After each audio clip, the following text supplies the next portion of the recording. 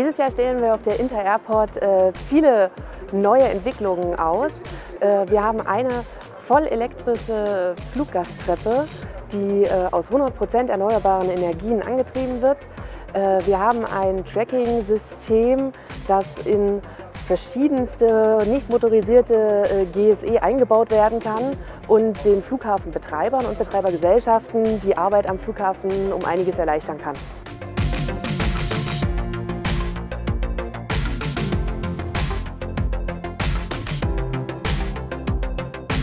Wir sind sehr zufrieden mit dem Messeverlauf. Wir haben viele neue Kontakte knüpfen können, wo sich auch schon abzeichnet, dass unsere Interessen und unsere Ansichten zu Energieeffizienz und dem Flughafenbetrieb beim Kunden sehr gut ankommen und das Interesse da wirklich sehr groß ist.